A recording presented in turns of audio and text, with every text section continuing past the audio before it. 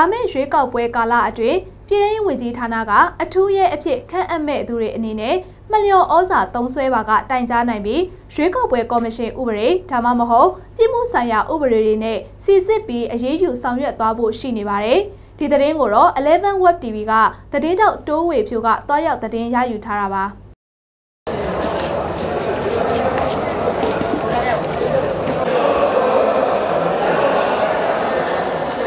စက်တင်ဘာလ9ရက်နေ့က2015ခုနှစ်အထွေထွေရွေးကောက်ပွဲမှာအထူးရဲဖြစ်တာဝန်ထမ်းဆောင်မှုအတွက်လူရေးပွဲကိုရန်ကုန်မြို့တူဝနမိုးလုံးနေလုံးအားကစားကွင်းမှာပြုလုပ်ခဲ့ပါတယ်။ဒီလူရေးပွဲကိုရန်ကုန်အရှေ့ပိုင်းခရိုင်ကမြို့နယ်14မြို့နယ်ကလူ1600ကျော်ကလာရောက်ရွေးခံခဲ့ကြပါတယ်။အထူးရဲတွေဟာရွေးကောက်ပွဲကာလအတွင်းလုံခြုံရေးဆောင်ရွက်ရမှာရဲတပ်ဖွဲ့ဝင်အင်အားနဲ့မလုံလောက်တဲ့အတွက်ပြည်ထောင်ဝန်ကြီးဌာနရဲ့ဘတ်ဂျက်နဲ့ခန့်အပ်တာဖြစ်ပါတယ်။အထူးရဲတွေဟာရွေးကောက်ပွဲကာလအတွင်းလုံခြုံရေးစီး၅စီးအနက်ဗဟိုစည်းဖြစ်သတ်မှတ်ထားတဲ့မဲယုံနေရာတွေမှာတာဝန်ယူမှာဖြစ်ပါတယ်။ မဲယုံတယုံအတွက်အထူးရတယောက်နှုံထားရှိသွားမှာဖြစ်ပြီးရန်ကုန်တိုင်းဒေသကြီးအတွင်းရှိမဲယုံ9600ကျော်အတွက်အထူးရ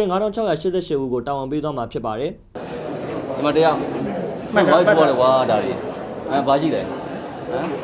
အေးဘာဖြစ်လို့လဲထိုးကြတာဟမ်ဒီမှာကိုကလည်းငငယ်လေးရှိတယ်ကိုတွေစားရတာကစုံနာပဲဒီမှာကိုပြောမှတ်ပြပါ43နဲ့ဟာခမရလဲကျွတ်တော့အများကြီးငယ်တယ်ဟာဟမ်ကျွတ်တော့90ပြီးတော့မယ် ဒါကြီးဒါလေးရိတ်ပဲနော်နော်သမင်းတက်တက်ရလို့ပဲဟလားလူကြားတဲ့ကြတော့တက်တက်ရဖြစ်ရမှာစမတ်ကြမှာဟုတ်လားနော်ဘာလို့လုပ်လဲကြည့်လားစိတ်ပါဝင်သားလားလုပ်ချင်တယ်ပေါ့อืมဟလာညာဒီကုများကိုကျွန်တော်တို့တိုင်းအဆင့်စစ်စေးအဖွဲ့ရလာစစ်စေးချင်းဖြစ်ပါတယ်ကျွန်တော်လောက်စစ်စေးတဲ့အခါမှာကျွန်တော်ရဲတပ်ဖွဲ့ပါတယ်မိသားတပ်ဖွဲ့ပါတယ်နောက်ကရမေးရပါပါတယ်နောက်ကလာဝကအဖွဲ့တွေပါပါတယ်နောက်ချိုးရေးအဖွဲ့တွေပါပါတယ် အဲ့ဒီအထူးရဲတွေဟာတာဝန်ထမ်းဆောင်ချိန်မှာမလျော်ဩဇာသုံးဆွဲပါကတိုင်ကြားနိုင်ပြီးအရေးယူသွားမယ်လို့အရှိပိုင်းခရိုင်ရဲတပ်ဖွဲ့မှဒုတိယရဲမှူးကြီးမြင့်ထွေးကအခုလိုပြောပါတယ်။ဒါတိုင်တန်းလို့ရပါဒီရွေးကောက်ပွဲကော်မရှင်မှာဆိုရင်ဟုတ်လားဥပဒေနည်းဥပဒေထုတ်ပြန်ထားပါတယ်။အဲ့နည်းဥပဒေနဲ့မညီလို့ရှိရင်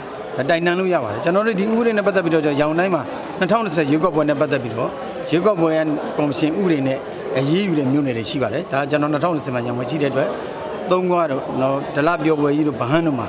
ဒီရုပ်ောက်ဘက်ကော်မရှင်အနေနဲ့တိုင်တန်းတဲ့အတွက်အမှုတွေရေပွင့်ဆောင်ရတာရှိပါတယ်ဒါကတော့အထူးရဲမှာမဟုတ်ပါဘူးဘသူနေနေဥပဒေနဲ့အညီမလုပ်ဖဲနဲ့ဟိုလေဥပဒေမဲ့လုပ်ရင်ပြစ်မှုကျူးနေအားလုံးဒါတိုင်တန်းလို့ရပါတယ်ကျွန်တော်တို့ကစီစစ်ပြီးတော့ဟိုလေရုပ်ောက်ဘက်ကော်မရှင်ဥပဒေနဲ့ရုပ်ောက်ဘက်ကော်မရှင်ဥပဒေအရတော်လကောင်ပြစ်မှုဆိုင်ရာတော်ညီဆွန်းတဲ့ဥပဒေနဲ့ဒါအရေးယူပြီးလို့ရပါတယ်သူတို့နဲ့ပတ်သက်တဲ့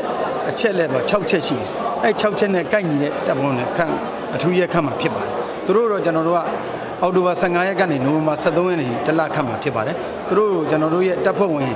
လစာအတိုင်းတသိန်း2000ပေးပါမယ်သူတို့ရဲ့ရိတ်ခငွေအနေနဲ့နေတွက်စိတ်နေတွက်ရိတ်ခအနေနဲ့တထောင်လုံးနဲ့ဆိုအားလုံးတသိန်းခွဲပေါ့နော်ကျွန်တော်တို့ဒါလစာပေးမှာဖြစ်ပါတယ်နောက်ပြီးကျွန်တော်ယူနီဖောင်းပေးမှာဖြစ်ပါတယ်ရောင်တိုင်းဆိုရောင်တိုင်းပဲနဲ့ဌာနချုပ်ပဲပါပြီးတော့သူတို့ကျွန်တော်တို့ကမြန်မာနိုင်ငံမြန်မာ police လို့ရေးမယ်သူတို့မှာတော့ special police ဆိုတဲ့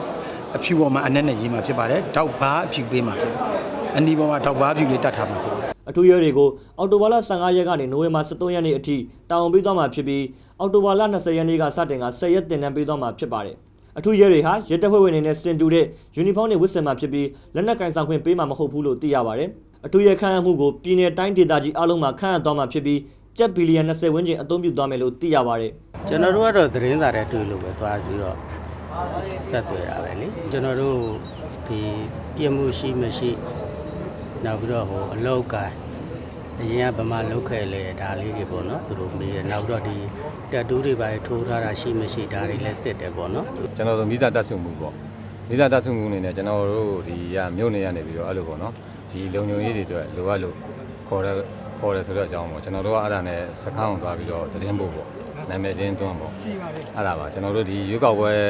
ရဲ့အတိုင်းအတာတွေအတွက်ကျွန်တော်တို့ကလုံခြုံရေးပေါ့နော်ယူဖို့အတွက်အခုချိန်ကြီးကျွန်တော်ဘာသွင်းလက်မှတ်မတည်ဟုတ်ကဲ့နော်ကျွန်တော်မဲယုံကိုတော့ဆောက်ရှောက်မယ်ဒါတော့ပဲတည်ထားတယ်ကျွန်တော်တော့ဘာမှအခုကြီးတာဝန်လည်းမပြီးဘူး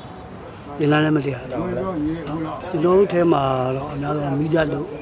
ဒီအုတ်ချိုဘန်လို့အားသာလေးနားပါတယ်2010ရွေးကောက်ပွဲအတွင်းအထူးရဲတွေမလျော်ဩဇာသုံးစွဲမှုနဲ့ပတ်သက်ပြီးဒလာဗဟန်သုံးကွမြို့နယ်တွေမှာတိုင်ကြားမှုတွေရှိခဲ့ပြီးရွေးကောက်ပွဲကော်မရှင်ဥပဒေနဲ့အရေးယူခဲ့တာဖြစ်ပါတယ်။